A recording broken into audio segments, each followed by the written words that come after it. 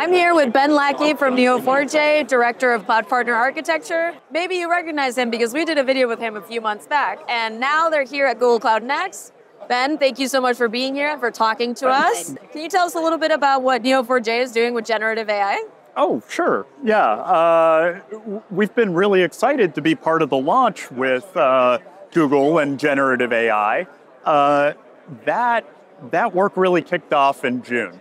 And at the time, it focused on this kind of two part data flow. Uh, so, one part, like let's take some structured or unstructured data, feed it into generative AI, and use generative AI to create what are called cypher statements.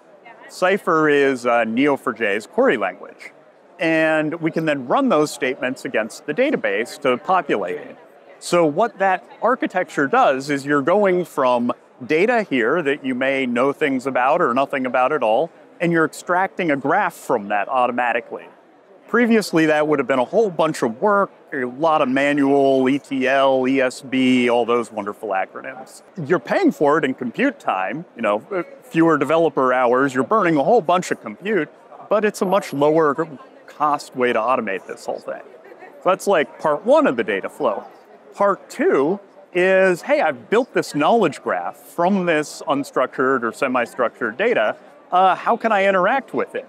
And what we're seeing a lot of our customers do is uh, put a chatbot on top, powered by generative AI with LangChain.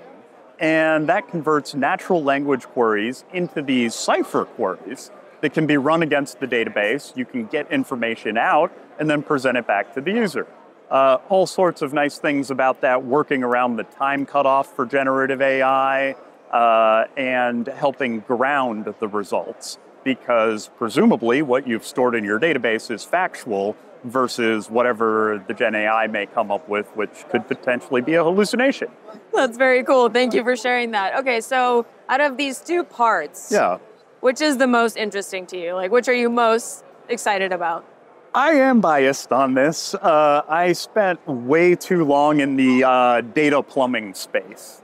Uh, so, like 20 years ago, I was working with large banks to try to move data around with straight through processing systems and things like that.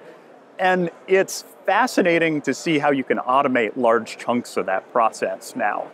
And you're seeing this all around us. Uh, uh, Deutsche Bank has a booth over here uh, talking about using generative AI to create client briefings.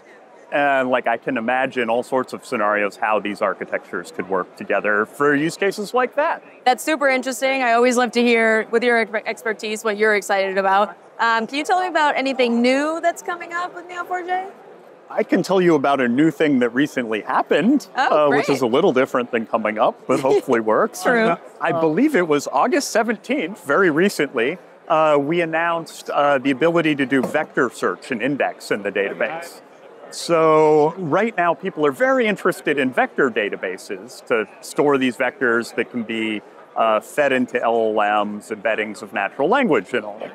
We're trying to do like a best of both worlds thing, where we have that feature, but it can be attached to a graph. And the idea is it unlocks a use case around semantic search. So you take these free-form text documents. Uh, once again, you use generative AI, this time to compute an embedding. That embedding is stored in the graph and is then searchable so you can find other parts of the graph that are similar, similarities between documents. Thank you so much for talking to us. As always, it's a pleasure. Neo4j, our graph database partner here at Google Cloud for a very long time. Uh, and I hope you have a great rest of the time at the conference. Thanks so much. All right.